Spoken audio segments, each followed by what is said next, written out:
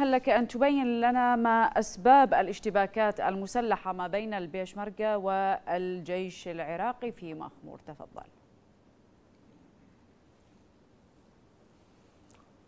بسم الله الرحمن الرحيم. تحية طيبة تحية طيبة لجميع المشاهدين الأعزاء. بداية الرحمة والخلود لشهدائنا الأبرار الذين سقطوا من قوات البيشمركة وأيضا من قوات الجيش العراقي الذين مع الأسف الشديد ذهبوا ضحية عدم التنسيق وعدم الوصول إلى اتفاق انتشار القوات وتوزيع المرابات الرئيسية بين قوات البيشمركة وقوات الجيش العراقي.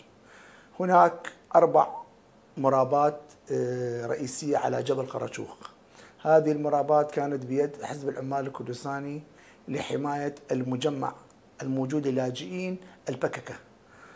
بعد ضربها من قبل الطيران التركي تم إخلاؤها. وكان هناك اتفاق مسبق بين البيشمركة وبين قوات الجيش العراقي أن يتم مشاركة هذه النقاط والمرابات بمشاركة يعني أن يكون بين البيشمركة وبين الجيش العراقي. هي أربع مبارات أربع يعني مرابات العفو اثنين منها لقوات البيشمركة واثنين منها لقوات الجيش العراقي.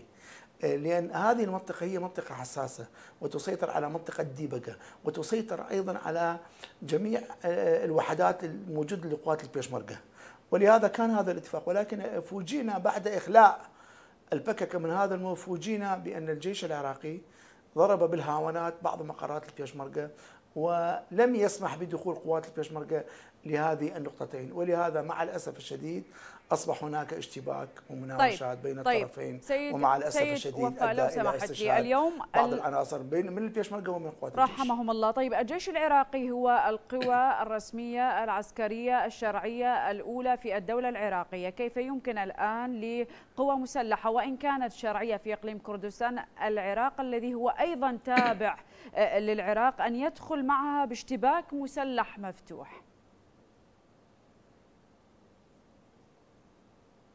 الجيش العراقي والبيشمركة هما اثنيناتهما قوات رئيسية قانونية منظمة وكما قلت لحضرتك نعم لكن الأولوية هي للجيش العراقي سيد وفاء. عدم وجود قوات البيشمركة. خلينا أخلص دقيقة دقيقة أنت جاوبتيني لا يجوز يا يا يا دقيقة. مو أنا أريد. أجاوب السؤال. نعم. لا لا لا أنت وصلتي سؤالك أساسا سؤالك غير دقيق؟ اولا دقيق. هذه المنطقة هي منطقة دقيق. تابعة حسب المادة العراقي 140 هو وهذه القوة المنطقة- العسكرية لا لا خليني أخلص. الأولى في أخلص. العراقية. وإقليم كردستان كردستان العراق هو جزء من والبيشمركة العراق. أيضا قوة شرعية والبيشمركة أيضا تابع قوه شرعية. تابع للعراق.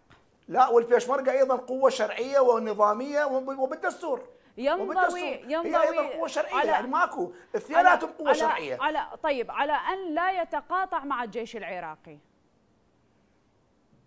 نعم تفضل سيد وفاء.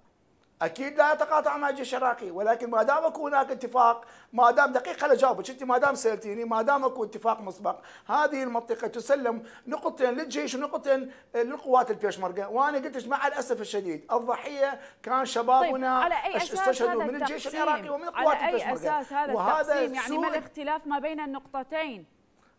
لأن هذه المنطقة الآن لأنك أنا أقول على أساس إن منطقة ديبقة قريبة من اربيل وقوات البيشمركه قريبة من هذه النقاط، يجب أن تكون نقطتين لقوات البيشمركه وأكو اتفاق مسبق على هذا الموضوع. أكو اتفاق مسبق يا أختي الفاضلة.